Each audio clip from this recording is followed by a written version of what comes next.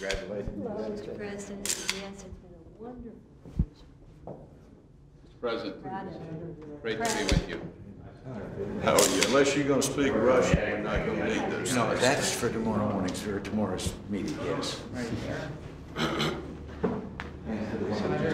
are you? How are you? Good to see you. Greetings. How are you? How are you? Sir. You look strong. You're big. Problem with the reconciliation bill.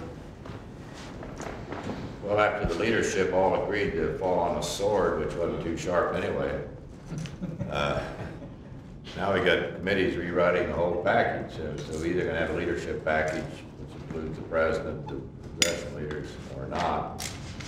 And I guess they're up in my office now trying to redo some of it.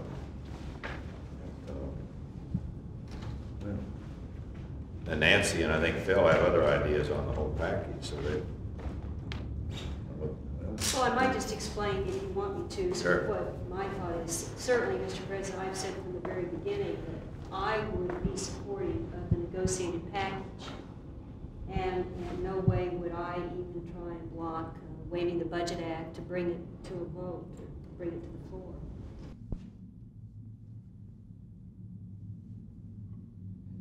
Today is his birthday. Today's the day.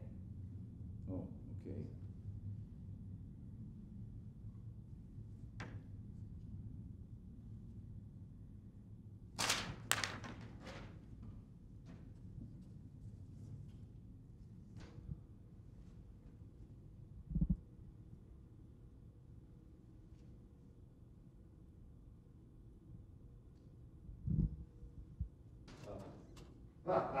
Yeah, I got a question. How the hell old are you? Uh, forty-four. Thank you very much. I should have known this was a setup. Well, then you've been five times. You've been thirty-nine. Uh, that's right. Thank you very much. Happy birthday. Very thoughtful. Bye-bye.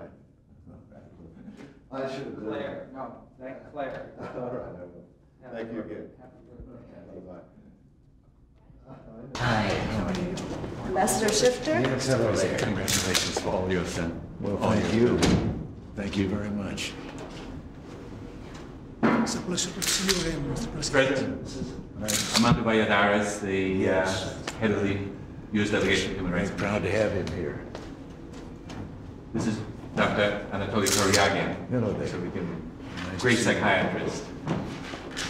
Stood up for a good cause. Next one is Mr.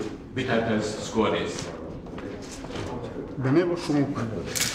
Well, pleased to see you and to have you here. Next one is Vitatas This is- Skuodis. Hello, Hello. Mr. President. I am Lituanian Vytautas Skuodis. Well, Pleased to have you. Thank you. Fallon Calciu from Romania. Well, hello. Good. Happy to see you. God bless you. Thank you. Ms. Azratik from Ethiopia. Hello. Nice to see you. Great honor. Marta Patricia Baltodano from Nicaragua. Hello there. Nice to see you and to have you. Maximo Pacheco from Chile. Ambassador, Hello. thank, thank you very much. Well, And and thank you very much for the work of your ambassador in Chile. thank you.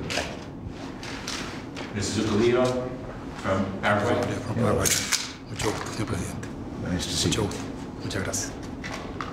Mr. Kuchal from Laos. How are you, Hello. Mr. President? My name is Kichao from Laos. Well, it's good to see you. Glad to see you, sir.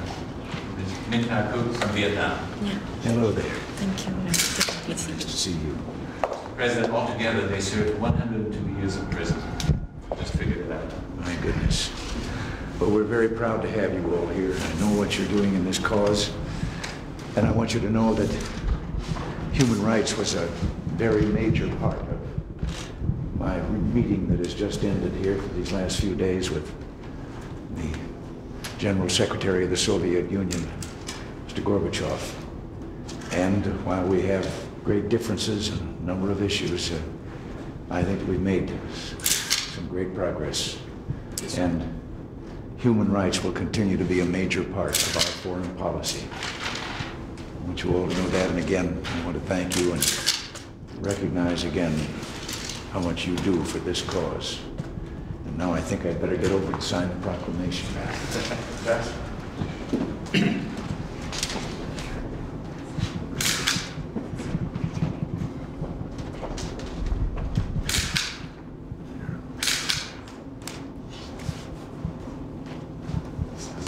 There it is.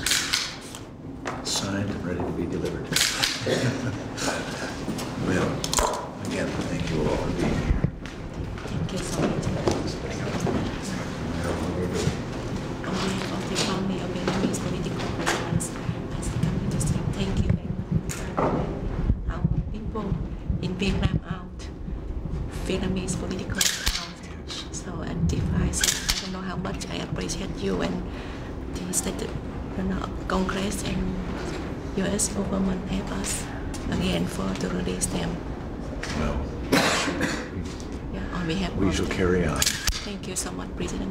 Mr. President, I am so thank you that you, uh, the United States accept our refugee to come to this country as a, uh, one part of our life and uh, care of our life, and uh, this is very important. I want to invite you and Mrs. Uh, President to visit us sometime in North Carolina.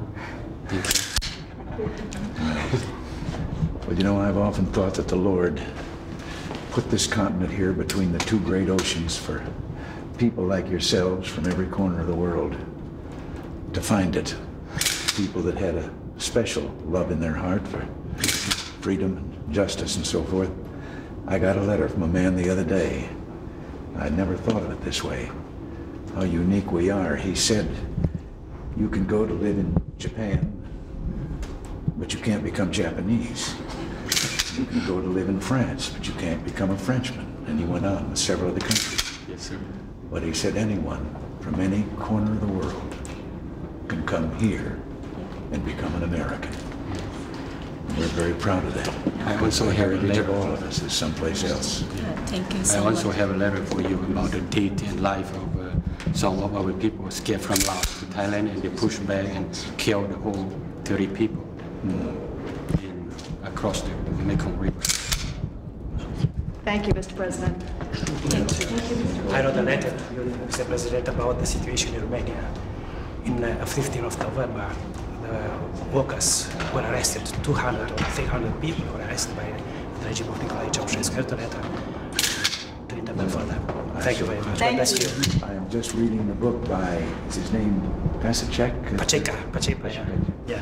I'm reading his book. Yeah, He in the decided factory. to become an American. After years of heading up the, well, literally second in command of the government of Romania. We thank God to have you as the president. All right. Thank you. Bless you. Я українець. Це я українець з Совєтського Союзу. I'm Я a відсидів Ukrainian from the Soviet Union. 37 років, 7 місяців в тюрмах і лагерах, польських, німецьких і совєтських. I was in П'ять Soviet років camps сил. for 37 years and 7 months. Коли би Декларація прав людини війшла як діючий закон у державах, то ніколи війни не було.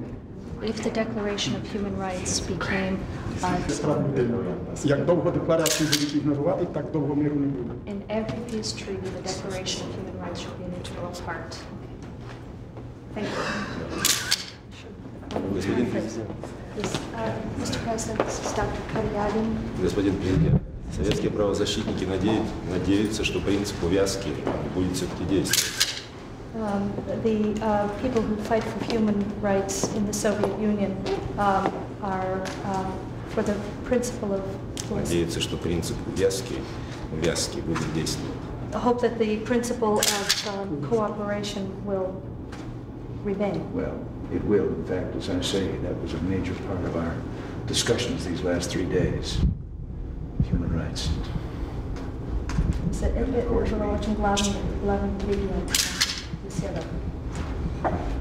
had a difference of opinion, of course, but uh, I think we are also making some headway. And I know that young man back there has been 22 years, was it? Yes, to Mr. Kingston. Thank you. Thank you, Mr. President. Thank you very much. Thank you all. Jimmy Carter can talk to great.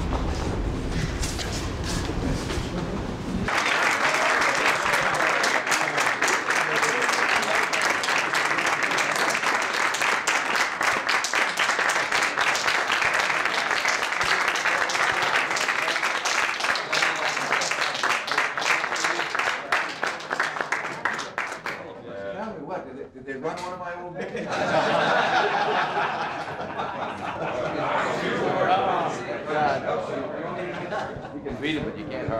Tomorrow morning about six. Now we'll take it. Ram it through the. When is the adjournment?